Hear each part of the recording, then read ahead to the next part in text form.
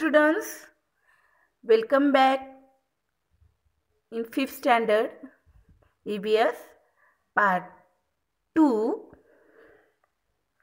What is today we are going to learn lesson number first what is history.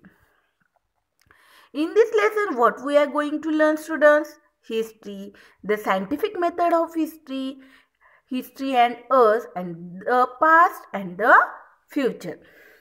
First point is history. You know students, what is history?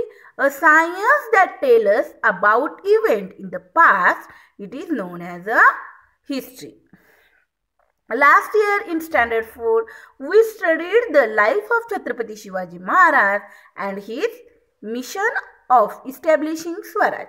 The time before the birth of Shivaji Maharaj was about 400 years before now. Or in the other words, the time 400 years ago. For our convenience, we divide time in different ways. Often we use word like now, some time ago, after some time, today, yesterday, tomorrow, or this year, next year, etc.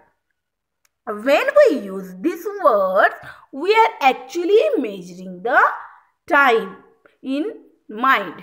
Correct? Now, today and this year, these terms that indicate the present. Some time ago, yesterday, last year are terms that indicate the past. After some time, tomorrow, next year are words that indicates the future. The time that has already gone by the past. The time that has already gone by the past. The time that we are in now in the present. And the time that is yet to come. That is the future. Students, last year you are studying studied in first standard. It is your past. Now we are studying in fifth standard. This is our present. And next year we are studying in sixth standard. That is your future.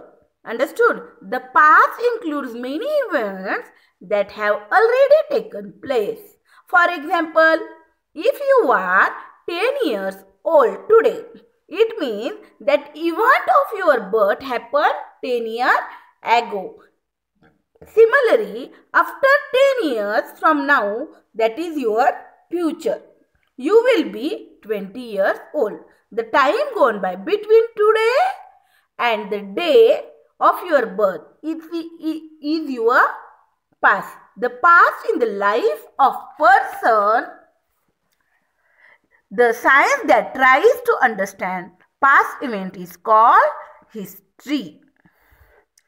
The scientific method of history in standard 3rd and 4th as a part of environmental study we have become acquainted with various sciences the special characteristics of all these sciences in their facts or evidence we can tested the experiments which can be repeated anywhere, anytime. The method of using a number of different tests to determine whether the evidence is reliable is called the scientific method. There are many things that can happen since our birth that we may not know about. However, our grandparents or parents or other often tell us amusing stories of our childhood. Those stories are a part of their memory. However, when different people tell us about the same event, we find different in their narration. Narration makes us wonder which one is right. We need to examine the details of each narration carefully to decide the correct correctness of fact. It is not possible to conduct experiment to recreate the event that have happened in the past. Therefore, the method of presenting history is different from that of other science. Even so, history uses the scientific method at every stage, namely while looking for the collecting evidence, examining the evidence and while putting it together. When required, help is also taken from science. That is why history is considered to be a scientific discipline. History is not written solely on this basis of imagination. Ancient objects, structures, sculptures, pots, coins, inscriptions, copper plates, books, manuscripts, traditional stories and songs remain over many generations etc. are the sources of history. The sources of history are divided into three parts material sources, written sources and oral sources.